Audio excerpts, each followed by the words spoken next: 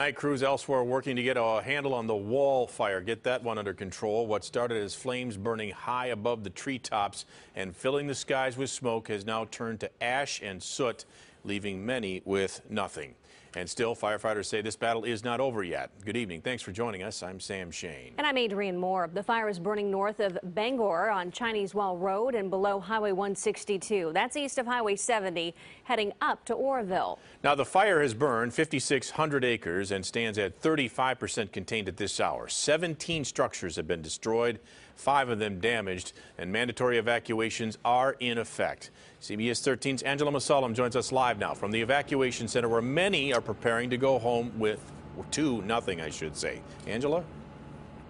Now, Sam Adrian, the wildfire ripped right through Richard Snelson's neighborhood this weekend. He's been staying here at the Church of the Nazarene with other evacuees who tell me they don't even know if their homes are still standing. I was just trying to see where there's more shade. Richard Snelson has been living in his RV for the last two days. He says he's pretty sure he lost his home to the wildfire. When I left, I could see that at least two of my neighbors' places went up before I left. Richard says he only had enough time to pull out his RV and grab his dog. Flame, the whole wall, like it was a, it was a horseshoe shape with the flame, just 50, 60 foot flame come wind. You couldn't believe it. Looking back, Richard says he regrets not leaving when the fire first started. He thought his home was in the clear. I'm lucky I got out with my dog and stuff. You know, I, I never did think a fire could move that fast.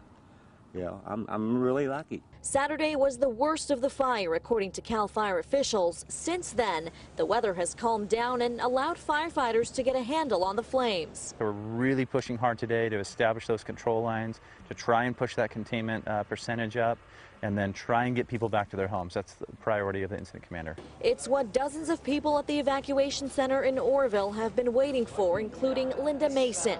I've had reports that it's still standing, and you know I know that they're. Excuse me. Linda almost lost her home in another wildfire last year. Thankful her home has escaped a fire twice. Linda says it's the people who lost their homes this time around who she's really worried about. The fire may have destroyed Richard's home, but he says he hasn't lost hope. Everybody will rebuild, though. You know, that's what we do as Americans. We help and pull together, rebuild. Now, CAL FIRE officials have downgraded several evacuation orders this afternoon. They're allowing people living in those areas to return home. For a list of those downgraded areas, please head to our website, cbs13.com.